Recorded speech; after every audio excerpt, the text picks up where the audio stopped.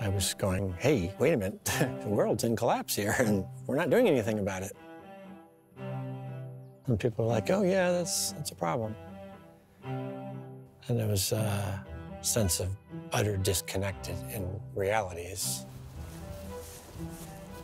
Climate change is just dealt with as if it was any other discrete environmental issue.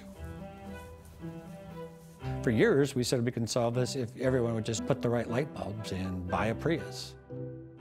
Liven your morning up, maybe.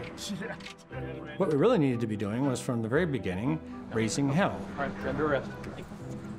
Eight hours of community service, and then they'll dismiss, as if they had never been filed, the charges. In theory, I could just show up and do this every two weeks or so if I wanted. Woke up at 2.30 in the morning thinking, why am I doing this? Nobody's gonna care, nobody's gonna notice. One, two, three, four, five postcard Guard boats. Yes. If you've done all the legal available methods and they don't work, then the only thing that you have left is to put your body in the way. Feel a large amount of pride for stuff my dad does because save the world and all that. The odds are vanishingly small. I mean, we really are basically fucked.